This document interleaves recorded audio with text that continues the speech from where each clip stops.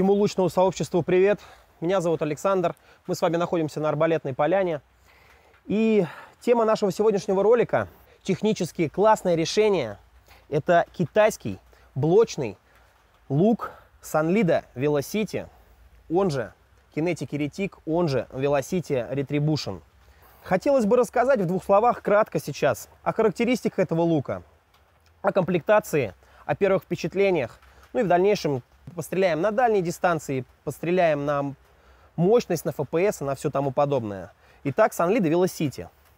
Сегмента, будем так говорить, бизнес-класса, но за бюджетные, так сказать, за малую сумму.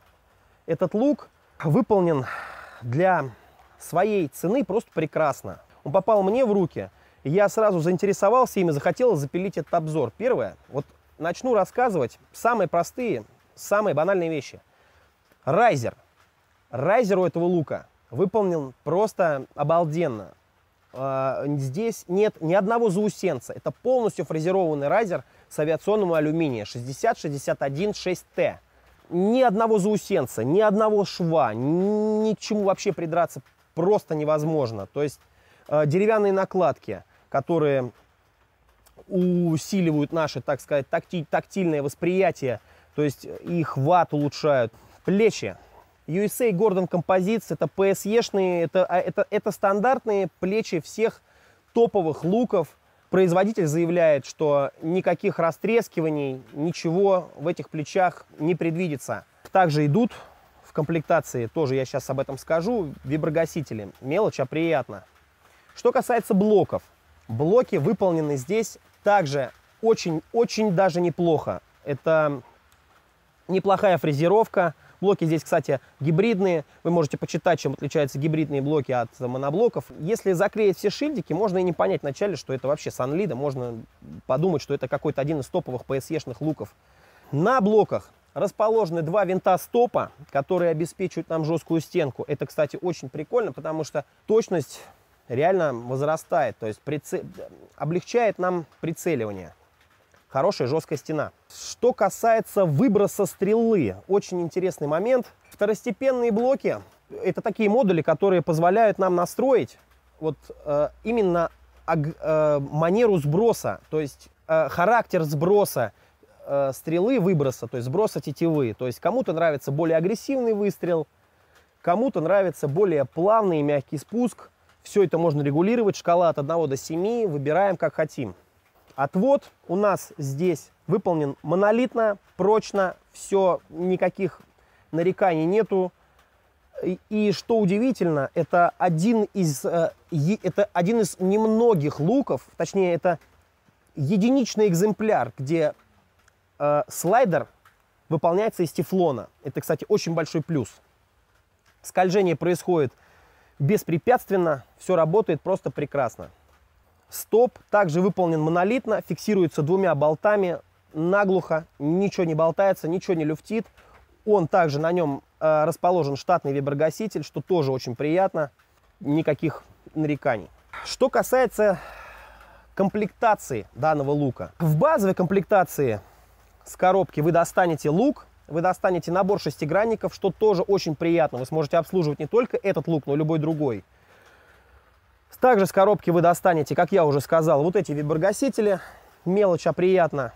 Покупать не надо. Э, также с коробки запястный релиз. Он очень удобный, он легко регулируется. У него очень-очень э, приятная регулировка шестеренки путем э, ее передвижения из паза в паз, ну, из паза в паз мы можем регулировать длину тросика, ну и все удобно и просто. Что касается первичных настроек. Очень приятно, достав с коробки, мы увидели, что на тетиве э, на месте седла находится металлическое кольцо. Я думал, оно просто для проформы, но оказалось, что оно находится именно в том месте, где должно быть. И не более, и не менее. Просто оно именно в том месте, где должно быть седло. Ну и армированная нить, разделяющая нашу тетиву на два ручья для установки распорок и пипсайта. Все очень просто. За, минут, за несколько минут мы все это сделали все прекрасно. Данную модель нам предоставила компания Mindhunter для обзора. Предоставила нам в самой простой комплектации. У нас здесь топ-поинтский прицел, самый простой. Здесь вообще два пина стоит. топ-поинтская полка, самая простая. Мы попробуем раскрыть потенциал этого лука с самыми простыми девайсами. А в дальнейшем, конечно же, поставим на него и другой прицел, и другую полку, и спортивную, и падающую. Постреляем на FPS, постреляем на дальность. Как бы попробуем выжить из этого лука все, что можем. Ну и в дальнейшем поделимся, конечно, впечатлениями, поделимся выводами и просто что-то новое о луке расскажем, когда узнаем. А так, хотелось бы сказать, что Sunlido Velocity, он же Kinetic Heretic, это выбор человека, который, ну, располагает суммой в 40-45 тысяч рублей хочет купить себе лук, который будет конкурентоспособен с топами в определенных аспектах. Допустим, что касается охоты, этот лук очень хорош. Хороший FPS, надежный, монолитный, прочный. Это отличный выбор за свои деньги. Я всем рекомендую, мы заинтересовались.